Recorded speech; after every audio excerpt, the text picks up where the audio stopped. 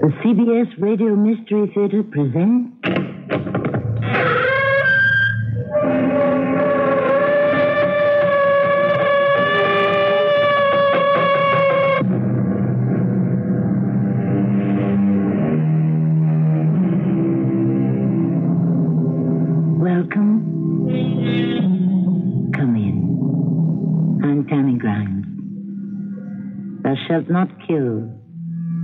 Shalt not steal.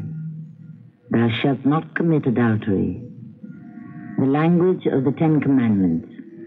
How clear, how concise, how unequivocally stated. They say what they mean. They mean what they say. And there's absolutely no room for maneuver. And then we come to the ninth commandment. Thou shalt not bear false witness. There are those, I'm sorry to say, who try to get around it by bearing no witness at all. They've got you, Dick. The jury won't even have to leave the box. But I'm innocent. I didn't kill her. You were in the house. Not at the time of the murder. Where were you? I was with somebody. Well, then you've got an alibi. No, I don't. But if you were with somebody. I can't ask her to testify. But your life. I can't ask her. You mean you'd rather be executed for a murder you didn't commit? Yes.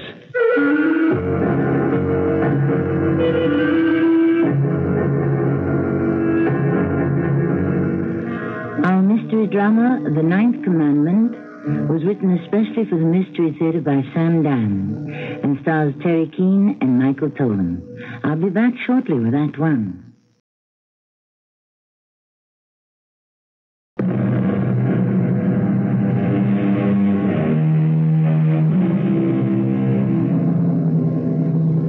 Love, they say, laughs at locksmiths. Well, burglars also laugh at locksmiths. And these days, they seem to be laughing louder than ever. Time was when a solid iron lock and a stout oaken door could keep one safe from all manner of human predators. But today, no lock devised is proof against our modern, well equipped burglar. So then, we have Elisa Traymore, Mrs. George Philip Traymore, who lives in Ayla Towers, an apartment building that is the ultimate in luxury. Mrs. Traymore is protected by a small army of doormen, elevator operators, armed guards, closed circuit TV. So, all of that being true, how did an unannounced visitor get into her bedroom? How did you get in here? I'm, uh, I'm sorry. I, I didn't mean to wake you. Who are you? Who do you think I am? You're. You're a thief. You say that word with such obvious distaste. Why? Why? Doesn't the word thief describe your own husband? How dare you? He's very rich, isn't he? Do you know what Balzac said about great wealth? What would someone like you know about Balzac? I read every word he ever wrote. Yes, most likely in jail. No, at Yale. You attended Yale University? I was graduated magna cum laude. Oh, and this is the best you can do? Steal? I steal no more and considerably less than many of my former classmates, who are now bankers and brokers, lawyers and politicians. But getting back to Balzac, have you ever read him? I'm sorry, no. But as I passed through your library, I, I noticed his collected works. One does not actually read Balzac or de Maupassant or Galsworthy, one merely displays them. At any rate, Balzac said that behind every great fortune is a great crime. That's probably true. What sort of crime did your husband commit? George? I don't think he committed any. He inherited all his money. His father, then. His father, too, and also his grandfather. I would say it goes back at least four or five generations. I understand they owned slave ships and were engaged in other equally unsavory ventures. And since then, the family has been atoning for it by frantically applying itself to good works. But you are actually a robber. Oh, no. I'm a burglar. What is the difference? Burglary is usually quiet, unobserved, and rather impersonal, whereas robbery generally implies the use of intimidation or force. In either case, what, what do you want? Your rings, your bracelets, your pearl necklace, your brooch. Did you think I'd be foolish enough to keep them here? They're in the vault. You wore them tonight at a dinner party. And there they are on your dressing table. May I have them? No. Oh, please, be reasonable. Reasonable. You break into my home and demand my property. I make no demand. I merely request. And if I refuse, shall you shoot me? How? I never carry a gun. Oh, a knife. Oh, well, that would be even worse. I never carry a weapon of any sort. As a, a man of your size, your build, I guess you wouldn't have to. You could probably crush the life. Of. My out- dear Mrs. Traymore, the only time I ever place my hand on a woman is at her invitation. What would you do if I picked up the telephone? I would leave. I never met a burglar like you. How many burglars have you met? Well, none. Uh, may I ask your name? Why? Well, you know mine. I am Richard Scott, at your service. Richard Scott, your friendly burglar.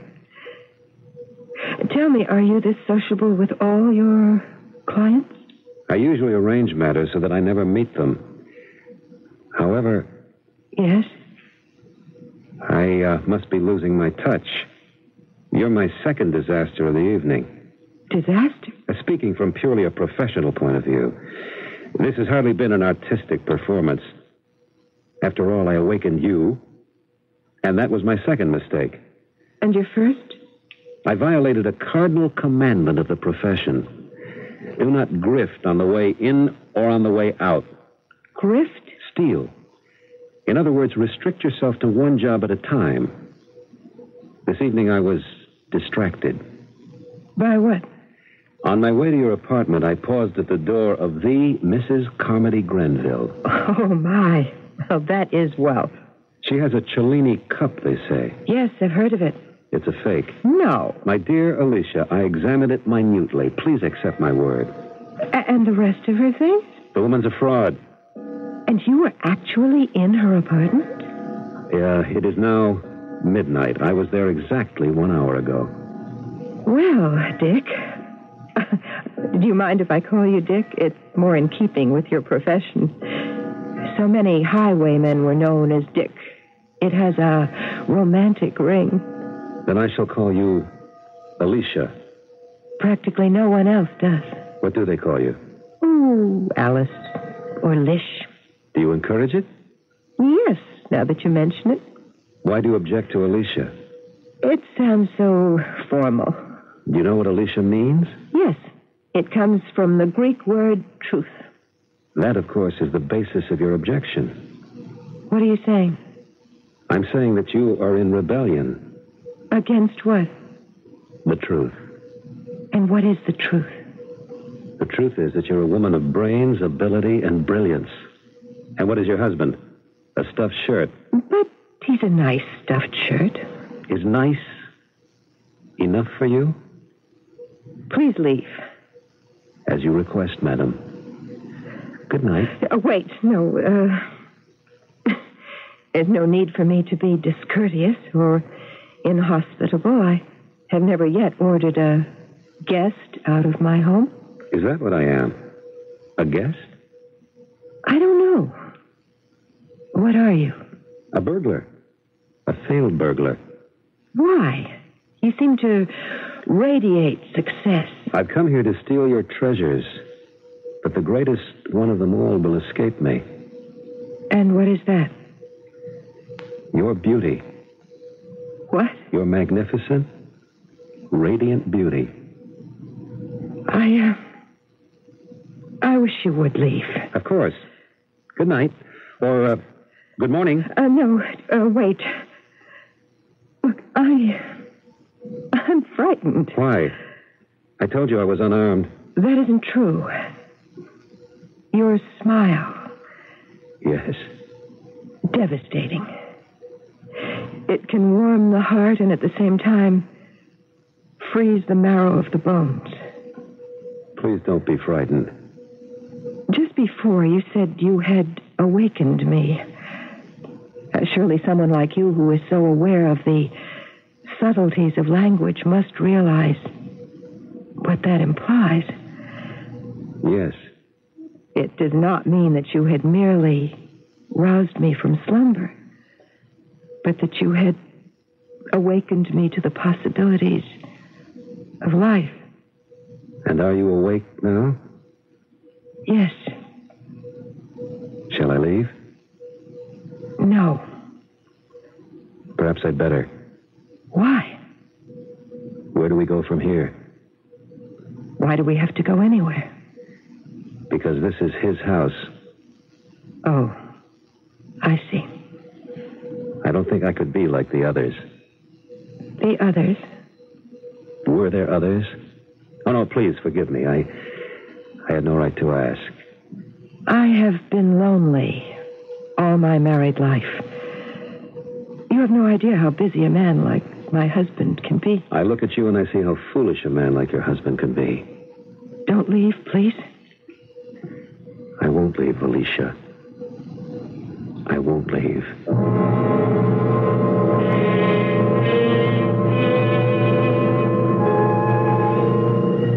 Am I late, Alice? Alice. Is there something funny? Call me Alicia. I like that better. But you always hated Alicia. I remember when we were children. I could always get a rise out of you by Mm, come, little brother, sit down. Lunch is ready. Well, why did you have to go to the trouble, huh? We could have gone I out. wanted privacy. Oh? Really? Yes, Hmm. Well, I must say, you look wonderful. thank you. There is a spring in your step and a sparkle in your eye and a color in your cheek. if I didn't know better, I'd say that. Uh, You'd say what? Uh, well, I would say that either you've just fallen in love with your husband, or uh, more likely you're having an affair. Joseph, you were always an insufferable little brat, and now that you're a doctor, you're absolutely impossible. Do I know him? I hardly know him myself. Ah, and you're in love. Completely, utterly, hopelessly in love. Well, I must say you look it. You mean it's visible? to me, yes, I know the signs. Dick has completely changed. Oh, his name is Dick. Well, tell no, me. no, that's all you'll get out of me. Well, what about him? Oh, Joe. I love him. How long have you known him? Hmm? Uh, what time is it now? Do you mean you mean you just met him? Oh, I've been aware of him all my life. What does that mean? It means I always knew what I wanted him to be. oh, Therefore, when he appeared, finally, he was not a stranger. well, what does he do? I can't tell you that just yet. And what do you want to do? Marry him? Do you intend to ask George for a divorce? Yes. When? Now, Well, isn't this rather sudden? Joe, I am 45. Every day is important, precious. Yeah, yeah, yeah, I suppose that uh, the timing is rather inconvenient. For whom?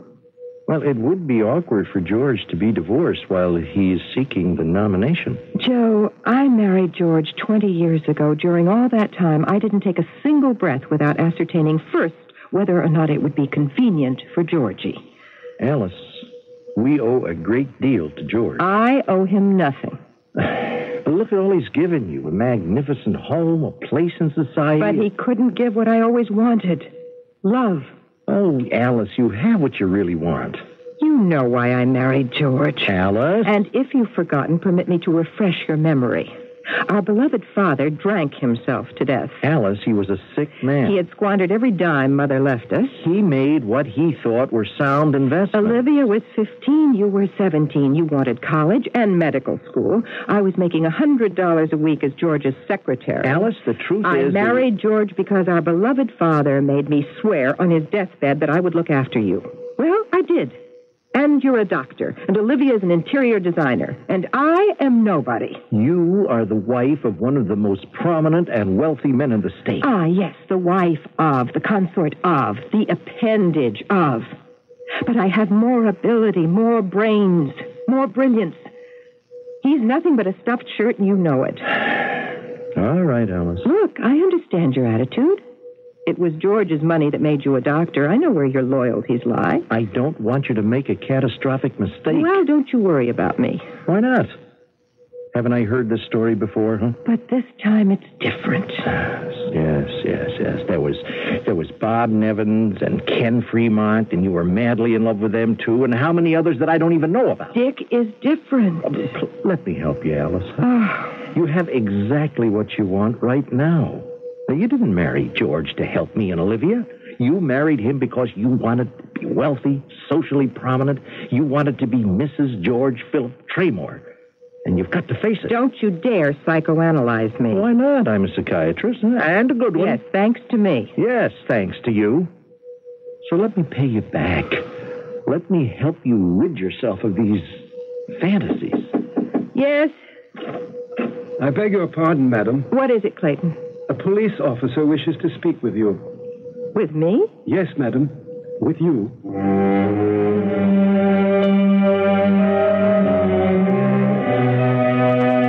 A police officer wishes to speak with you. Such a line is always filled with foreboding, especially when it is spoken by an English butler. Well, what can a police officer want with socially prominent Mrs. George Philip Traymore? Of course, he could be here to sell her tickets to the policeman's ball, but somehow I doubt it. Act two approaches shortly.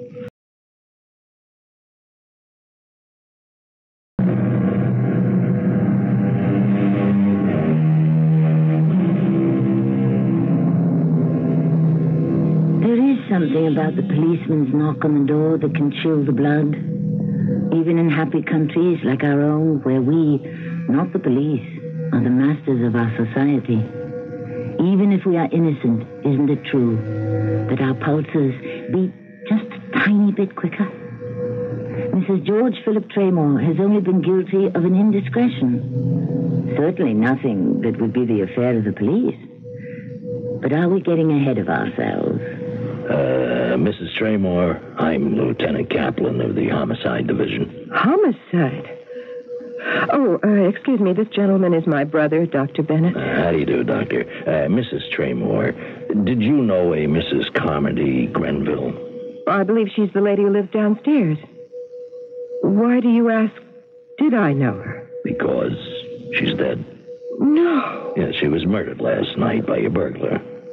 You, you mean a robber, don't you, Captain? Well, it's only a theoretical distinction. Yes, but a burglar would be less likely to commit a murder, wouldn't he? A robber, burglar, how many angels can dance on the head of a pin? All I know is we had an intruder and a murder. She was murdered last night? Yes, Mrs. Traymore. And what I'm trying to find At out. what time? Well, the coroner says it's 3 a.m. Oh, uh, that's. Uh, that's what, Mrs. Traymore? Uh, you're sure it was 3 a.m.? It, it couldn't have been earlier. Earlier? We'll say it was sometime before midnight. Why? Why? No, I don't know. I'm just curious. Well, we not only got the medical evidence, but a little clock that was on her bedside table had been knocked off onto the floor, and it stopped at exactly a minute before three. Well, I'm making the rounds of the building eh, to find out if somebody might have seen or heard anything at around three last night. Well, at 3, I believe I was sound asleep. Was there anyone else in the apartment? Anyone else? No, no. Uh, my husband is on the West Coast attending political meetings. Oh, yes, Mrs. Traymore. And may I say that he is a great man. Well, thank you, Lieutenant. Now, you're all alone then? Yes, uh, the servants don't sleep in. Well, thank you, ma'am. I'm sorry I inconvenienced Oh, you. it's quite all right. Well, goodbye, Mrs. Traymore. Dr. Bennett, I uh, certainly hope Mr. Traymore gets that nomination. Goodbye. Oh, that was a relief. What did you say? Oh, it was nothing. No, no, no, no. That, that, that, that's not true. You said it was a relief. Why? What does the murder of this woman mean to you, huh? Why did you make an issue over the time of her death, huh? I wasn't aware that I was making an And issue. why were you so relieved when the time was pinpointed at 3 a.m.? My dear brother, you're imagining things. All right, all right, all right, all right.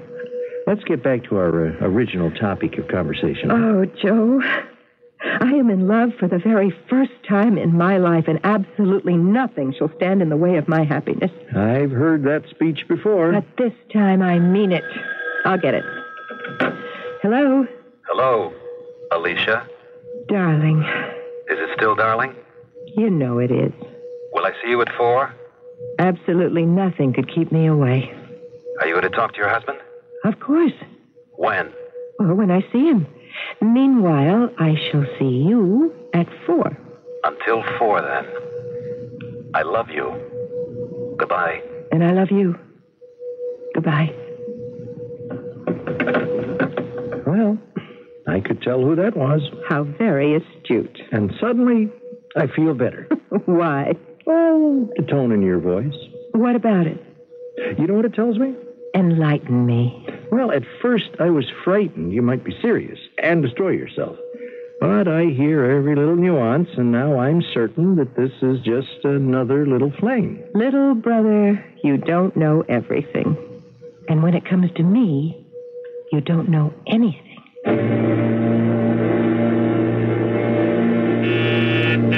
Just a minute. My darling, you're. Oh? Hello, Dick. I uh, guess you weren't expecting me. No, Lieutenant. Well, may I come in? Must you? I have made plans to entertain a lady. Ah, afraid you're just going to have to change them. Why? Dick, I can't believe it. What can't you believe, Kaplan? Well, uh, first, I have to read you your rights. Consider it done. Well, then let's talk off the record, huh? About what?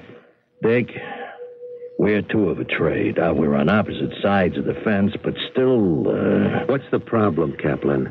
when I was with Loft and Burglary, I got to know you pretty well. I respected you as a gentleman. You were only after the merchandise, and you never laid a hand on anybody. So tell me, Dick, what happened to you this time, huh? Why did you kill her? Kill who? Oh, come on. Don't play the dummy with me, Dick. I'm not wired or anything. I just want to know for myself. Why did you kill that Mrs. Carmody Grenville? Listen, I didn't kill anybody. You were there, Dick. We got your fingerprints. On that cup. On that phony Cellini cup. Ah, how could I have been so stupid? Yeah, I was there at 11:40 p.m. You admit it? How can I deny it? I heard about that cup. It's what I came for. Where was she? Fast asleep. The cup just didn't seem right. I had to feel it, so I took off my glove. One touch, and I knew it was a fake. Since that was what I came for, I got out of there. And you knew you were leaving your fingerprints on the cup, huh? Yeah, but since there wasn't going to be a robbery, who would ever. Oh, I just wasn't thinking. Maybe I'm getting older, clumsier. You left the apartment without waking her? It couldn't have been more than a quarter to twelve. What must have happened? Some hoodlum must have blundered in there hours later and had to kill her. You left at a quarter to midnight? Yes. And you never went back, huh? No. Where'd you go? I was with a lady For how long? from about midnight till 4.30. Well, that's a tough story to swallow. Now, you say you were there earlier, but you did nothing. You left your fingerprints accidentally, and then some killer just happens to come in later. It's true. Yeah, yeah, I guess your fabulous luck still holds. You have got an alibi. An alibi. Yeah. Well, the murder was committed at 3 a.m., and at that moment you were with this lady, and all she has to do is testify. Testify? Knowing your taste in women, I'm sure she's a classy lady, and that no jury would ever dream of doubting her word. But I can't ask her to testify. Why not? Oh, right, yeah, she's married, huh? That's part of it. Dick, all I can say is that without that alibi, they got you for murder during the commission of a felony. And a death penalty is getting popular again. Dick, she has to testify.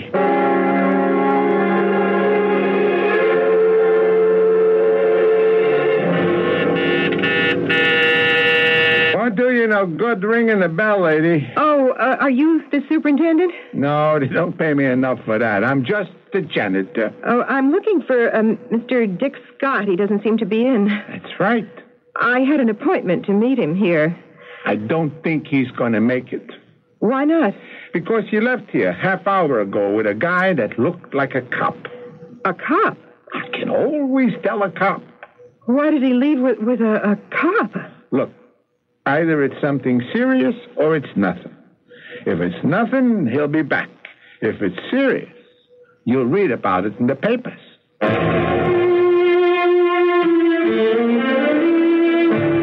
Alice, have you heard the news? What news, Joe? They've caught the killer. What killer? The killer of poor Mrs. Carmody Grenville. Oh, It's in the papers. Fantastic police work. Uh, the arrest was made by the detective who was up here this morning, uh, Lieutenant Kaplan. Joe, I was thinking about what we were discussing earlier. Huh? Yes? There could be something to what you were saying. I was pretty rough on you. Well, I wouldn't have taken it from anybody else. But yes, perhaps I felt cheated and I wanted a kind of wild, exciting love affair. George, as you can imagine, is so staid, so placid. This new man, Uh, Dick? yes, he's exciting, stimulating, but I don't know if I care to see him again. And besides, if I walked out on George, he would behave badly. Uh, yes, I'm sure he would. He has all the money. I never took advantage of my position as his wife to feather my nest, so to speak. Since I would want the divorce, I would get nothing. No, no, G- George would never let you starve. And besides, Olivia and I owe you more than we could ever repay. But I couldn't live in the manner to which I'm afraid I have grown accustomed. Do I sound mercenary? I don't know. You sound extremely practical. Well, what happens to our friend Dick, huh? What happened to Ken Fremont and Bob Nevins and a few others you don't know about? It was wonderful while it lasted, but it didn't last long. Oh, if only George would pay more attention to you, spend more time. Well, you're his psychiatrist. Why don't you suggest it to him? I already have. And? Well, next week he'll start campaigning seriously. Now, you'll travel together a great deal. Now, you're going to be a tremendous asset to him. Do you really think so? An attractive wife never hurt a candidate. Actually, you're one of the reasons the party chiefs are taking him seriously. I tell you, Alice, you will be coming into your own. Oh, at last. Oh, got any plans for dinner? I think I'll spend a quiet evening at home. Well, I feel better about everything now that the murder's been caught. Oh, you say it's in the paper? Yeah, yeah, yeah. Even his picture. Here, take a look. What? Uh, Him? He is the killer? yeah, they really got him. I must say, he's the handsomest killer I ever saw. Well, what do you think? Alice? Alicia? What is she thinking? Right now, what she is thinking could very well be a matter of life and death as far as Mr. Dick Scott is concerned. Her course of action should be crystal clear. She holds his life in her hands. How easy it would be for her to drop it. But this type of decision, as you know, is always reserved for the third act.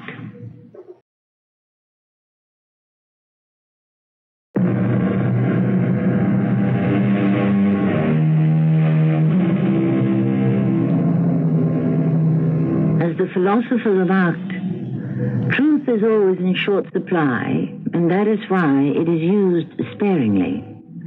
Perhaps that is why it is encountered so seldom. Therefore, since it is such a rare commodity, many of us have trouble recognizing it when we are presented with it. When we say truth is stranger than fiction, what we are actually saying is that truth is often a stranger to us, while fiction is a familiar. Alice, this detective who was up here this morning, uh, he made the arrest. Now, I liked him. He seemed to be a man who knew his business. Now, you see what it says? Dick Scott, well known burglar, was charged with the murder. But that can't be. Well, it is. His fingerprints were found in the apartment. No, and he didn't do it. What are you saying? I'm saying that he didn't do it. How do you know? Because. Because. yes, because he's so good looking. Yeah, I see. He's too handsome to be a murderer. Is that it? I'm just saying that he. You're, you're really upset, aren't you? How, Why? how can they be sure. Read what it says about his fingerprints. What does that prove? Well, it proves he was in the apartment. But that doesn't prove that he, he committed the murder. Well, then, who did? Well, obviously, someone came in after he left, and. Obviously. Uh, yes, What's the matter with you, Alice? with me. Yes. This murder's done something to you. You, you spoke to the detective in such a strange way, and now you're carrying on as if. As, as, what is it? But what can they do to this man? They can prove that he was in her apartment, and unless he can prove that he wasn't at the time of the murder, then. How. How could he prove he wasn't there? Well, he would have to be able to prove that he was somewhere else. Oh, Why are we talking about it, huh? Why? Yes, and so seriously, too. I don't know. I just. just Shall I tell you? You're in love with this man. I'm in love with him. How do you. I saw your face as you looked at his picture in the paper. Oh, yes, my dear sister. Right then and there you were smitten. What are you saying? You- you always fall in love, or, or should I say, you become infatuated with a definite type. Now, look look closely at his photograph again. Go on, go on, go ahead. Why? Well, isn't that a familiar face? Familiar? Yes. He looks just like Bob Nevin and Ken Fremont, and they all have the same bold eyes, the same strong features, the same devil may care look about them. Now, this fella's definitely your type. Well, you won't have any time for these flirtations from now on. You'll be hitting the campaign trail with George, and that's going to keep you busy day and night. Joe, hmm? what you're saying is this Dick Scott. He. he needs an alibi. Well, nothing else can save him. Joe, listen to me. What is it? I. I. Yes. What are you trying to tell me? Nothing. Nothing.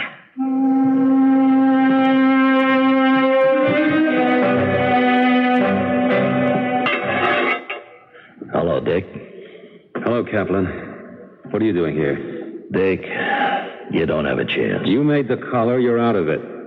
I am here as a friend.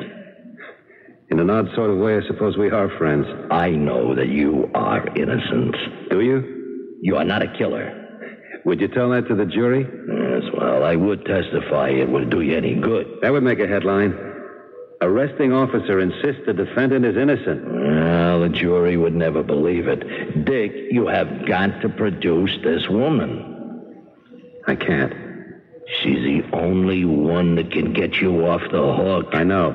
This woman has got to look those jurors in the eye and say at 3 a.m., the morning of May 15th, Dick Scott was with me. And you're acquitted. Now, ask her to do it. I can't ask her. Why not? Because it's no good if I have to ask her. Oh, no. She's aware of the spot I'm in. She knows what I need. You can make her do it. Can I? Oh, yeah. She can be subpoenaed. And suppose she denies it. Well, then at least you can have the satisfaction of knowing that you made her commit perjury. Why are you so upset, Kaplan? I am. Because she's throwing your life away. And it's not right. And it is not justice. She'd be ruined if she appeared in court. I understand that. Oh, you do? Well, I don't. You're not in love with her. I am. Uh-huh. So that's how it's going to be, huh?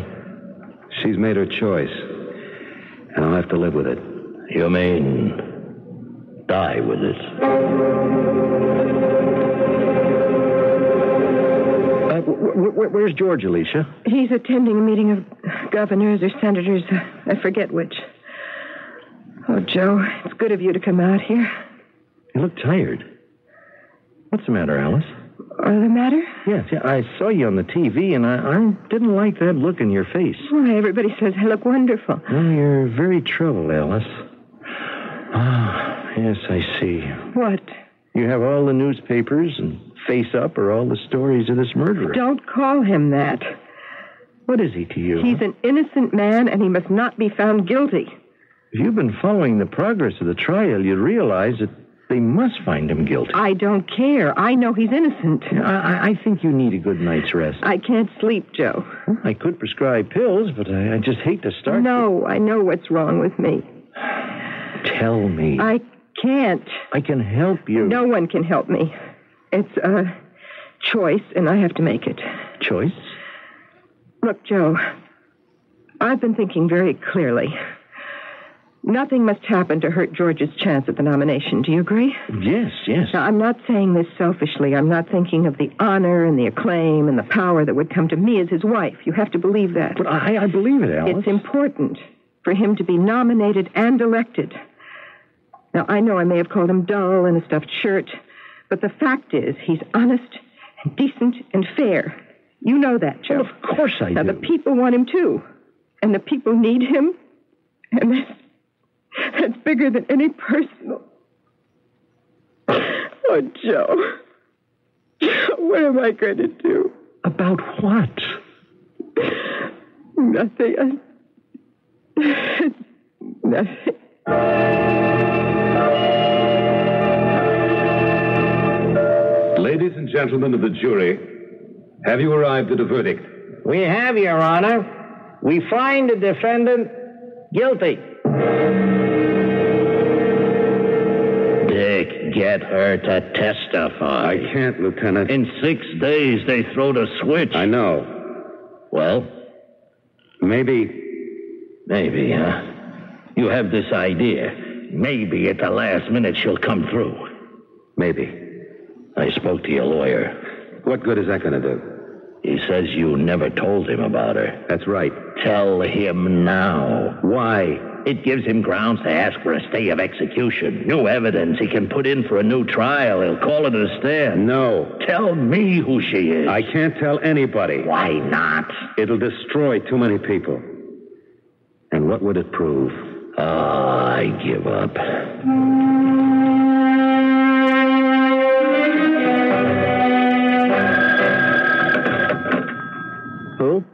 Oh, s- send her in.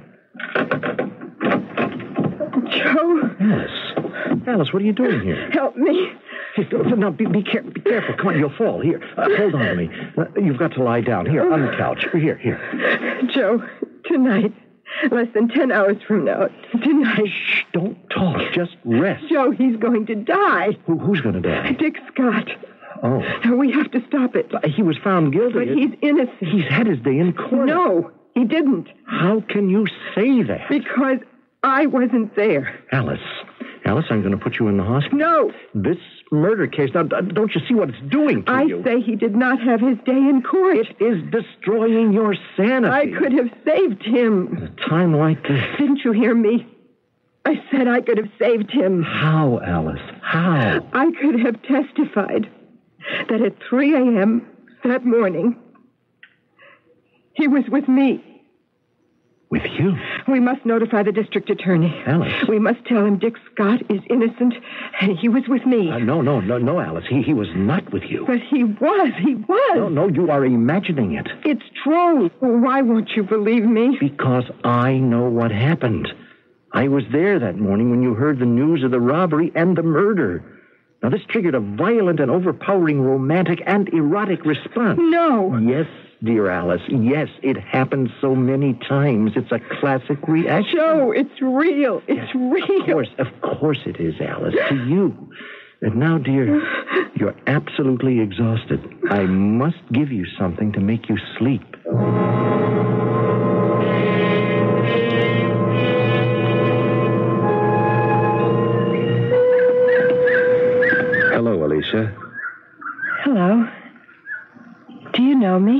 Yes.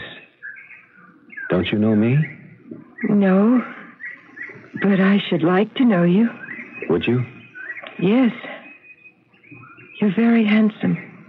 They said you'd be sitting out here. I'm always outdoors when it's nice. What are you looking at? Oh, just at you. You're looking at my hair. I know. They tell me that six months ago it was jet black. Now it's snow white. What's your name? Dick Scott. And why have you come to see me? Because I love you. That's nice. Do you know why I'm here? In this home? No. I think it's because I did something wrong. I can't remember. Did you ever do anything wrong? Oh, yes, many times. I was a burglar. Oh, that was very wrong. Were you ever caught Yes. Once. and punished? I was almost finished. What do you mean? I broke into a rich lady's apartment, but I didn't find anything worth stealing, so I left. Later on, someone else came in and killed her. But they thought I did it. Terrible. I was found guilty of murder. I was going to be executed. But luckily, the real murderer was caught. And just in time. I would say that was lucky. How did it happen? He had a friend who was in trouble with the police. In order to buy his. Well, to make a better deal for himself, this friend turned him in. There's no honor among thieves, is there? Why is that surprising? There's very little honor to be found anywhere. You look like an honorable man to me. Oh, the nurse, the nurse is motioning to me. I, I think visiting hours are over. Oh, please, please don't go. I must. Uh, will you come back? Pr- promise me you'll come back. I'll come back. Every day. You must come back. Because I love you. Do you? I don't know who you are or why I love you, but I do. And I know that I was willing to do something for you. I don't remember what it was, but it was something. Perhaps one day I'll remember.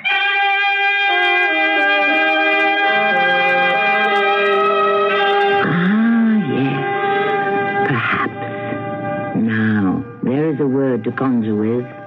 As Monsieur Francis Rabelais himself said on his deathbed, I go to seek the grand, perhaps. Draw the curtain. The farce is played. Well, we won't draw the curtain just yet. I have another appearance to make, shortly.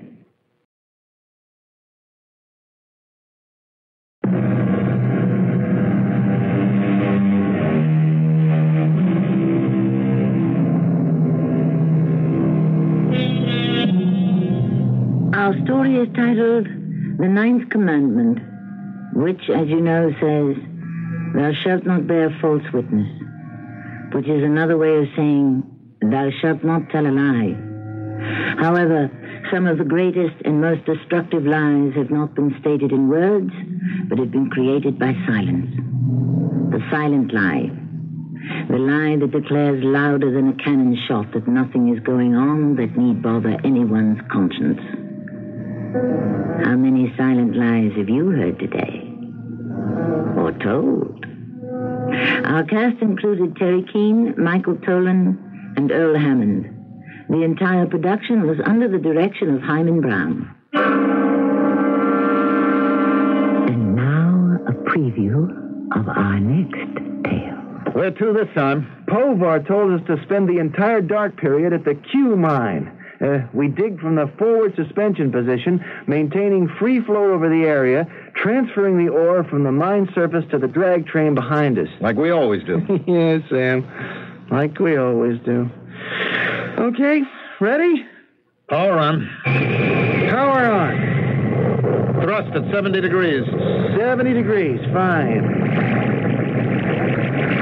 Take off for orbit at 2,000 meters over planet surface. Take off for orbit. What amphibian's name is that? Explosion in the oxygen containers. We're losing power. No power. Joe, this is it. We'll drift off into space like milkweed. Do something, Joe. We'll be wandering around in space, frozen corpses, in orbit forever. This is Tammy Grimes, inviting you to return to our Mystery Theater for another adventure in the macabre. Until next time, pleasant dreams.